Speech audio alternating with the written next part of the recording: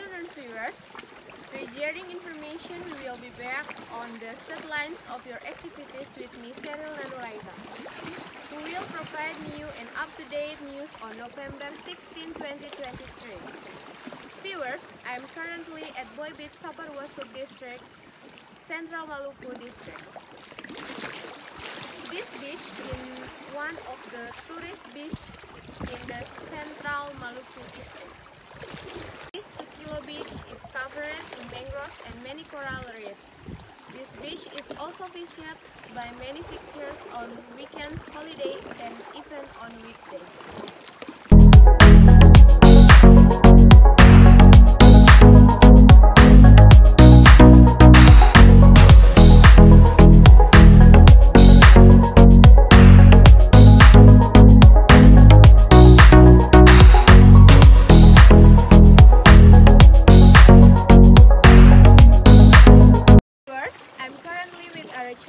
Person, namely a visitor from the Boy Country Tourist Beach.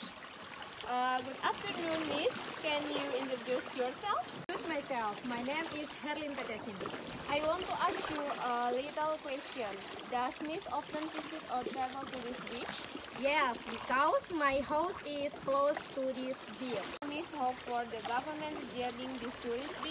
For the government, we hope that it will always maintain the cleanliness and sustainability of this beach, so that this beach remains well maintained. Miss interest in visiting this beach? Because the place is quiet and comfortable to enjoy.